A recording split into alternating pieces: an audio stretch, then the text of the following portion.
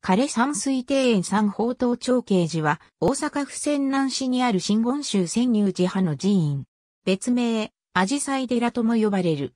境内には多宝塔以外にも、三重塔と唐用も腰付け三重塔があり、三つの塔がひしめき合っている。仁王門前の百段の石段脇に植えられたアジサイが見事で、近年はアジサイ寺とも呼ばれている。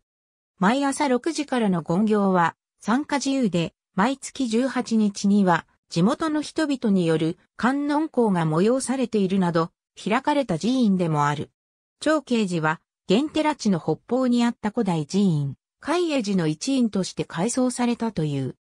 長慶寺の自伝によれば、海江寺は、人気元年、聖武天皇の直願寺として、行基によって創建され、永遠2年に消失し、長徳3年再興されたという。ただし、海江寺石発掘調査の所見からは、この寺の創建は、聖武天皇の時代よりまだ遡った7世紀、後半の創建と推定されている。海江寺の名は、近世以降に見られるもので、当初の事号は不明である。天正年間の織田信長と橋場秀吉による奇襲攻めで全山消失。奥の院の観音堂だけが類称を免れた。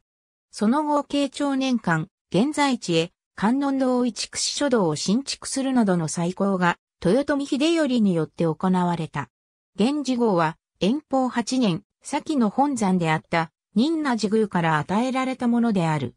また、その事号は再興した時の年号である、慶長を逆さまにしたものという。近世には、岸和田藩主岡部氏の祈願寺として栄えた。明治以降は、寺勢は衰退し、観音堂徳利を残すのみであったが、現住職の尽力により現在の姿に整えられた。ありがとうございます。